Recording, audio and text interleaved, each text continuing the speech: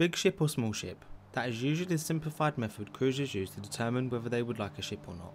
Even though Enchanted Princess is a big ship, there are lots of quiet and tranquil places for you to relax and enjoy in the same way you can on smaller ships. Enchanted Princess offers an extensive variety of things to do, but still has those quiet and peaceful areas where you can just kick off your shoes and read a book. This video will cover all the activities available on board Enchanted Princess and the royal class of ship at large with Princess Cruises.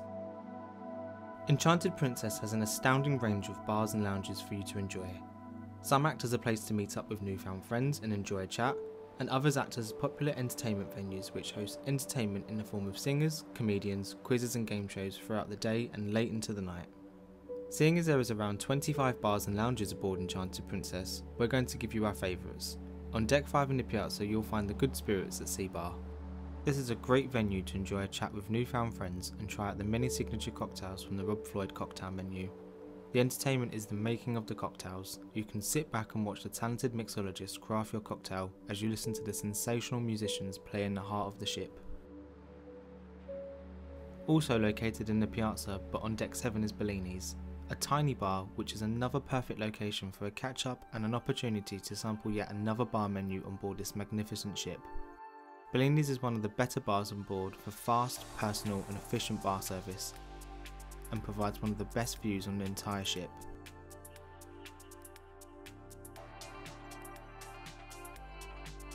When it comes to bars and lounges with a more convivial and lively atmosphere, few are better than Princess Live. This is the bar and lounge we spent most of our evenings as they laid on karaoke, fun quizzes and game shows, where the audience is involved in one form or another for much of the entertainment that is put on here. Princess Live is probably one of the most popular venues on board too, so if you've seen something in the Daily Planner or Princess Patter that takes your fancy, it would be a good idea to get here in good time so that you can ensure that you get a great seat. Acting as the second largest entertainment venue aboard Enchanted Princess is the Vista Lounge. Seating over 300 people, the Vista Lounge offers comfortable seating for quality time with friends and family. Here you'll enjoy comedians, illusionists and musicians, as well as instructor led dance classes during the day.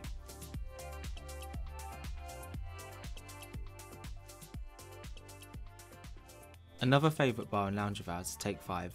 This is the venue which allows you to relive the roots of jazz each and every evening, where you can enjoy the ship's fantastic musicians performing classics from iconic jazz legends. This venue can also be found on Sky Princess and Discovery Princess, and you'll be glad to know that this is another venue on board where passengers can order the marvellous cocktail creations from master mixologist Rob Floyd, as well as specialty gin cocktails crafted exclusively for Take 5. These cocktails are included as part of the Princess Premier fare type with Princess Cruises. If you'd like to discover the difference between Princess Plus and Princess Premier and establish which is the best package for you, please click the banner in the top right hand corner now. The largest entertainment venue on board is the Princess Theatre, located forward on decks 6 and 7. The Princess Theatre seats close to a thousand passengers and plays host to quality West End style shows, comedians, music tribute acts, magicians, and guest speakers.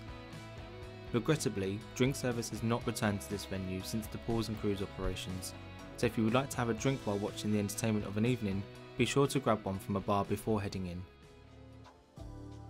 If you enjoy going on a cruise to relax and rejuvenate, we can't recommend anything more highly than the Lotus Spa. The Lotus Spa features a state of the art beauty and hair salon, a selection of stunning treatment rooms where you can indulge in treatments from Elemis facials through to full body massages, but the most impressive feature is undoubtedly the Enclave.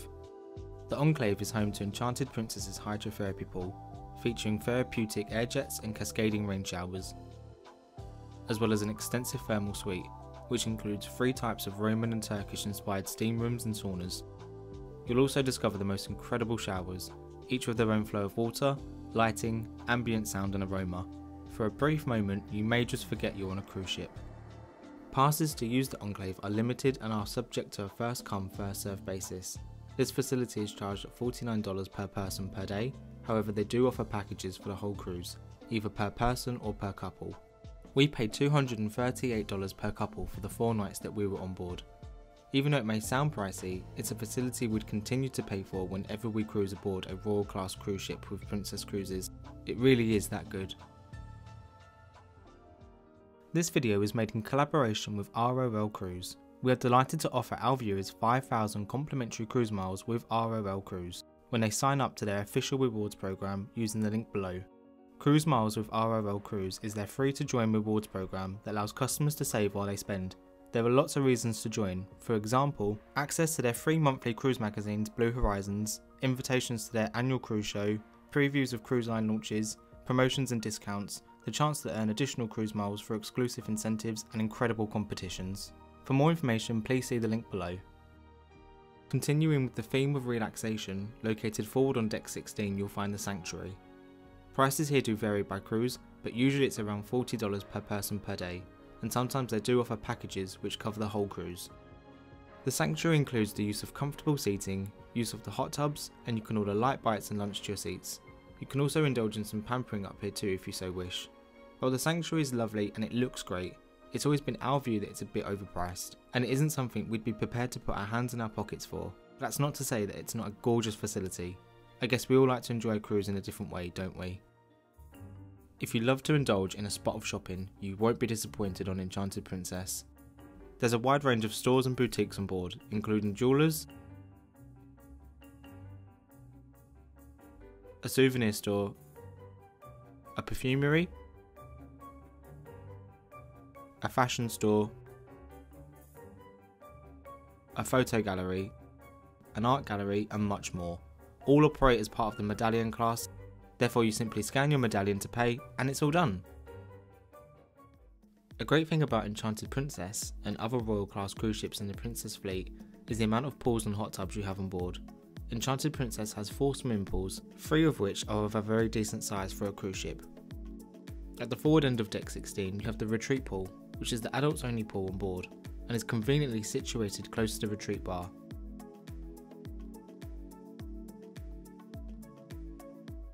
Located midship of deck 16 are the two sky pools, which are the more family orientated pools aboard Enchanted Princess and are undoubtedly the most popular pools on board. At the very aft of deck 16 you have the wake view pool, which is a stylish infinity pool which provides incredible views over the ship's wake.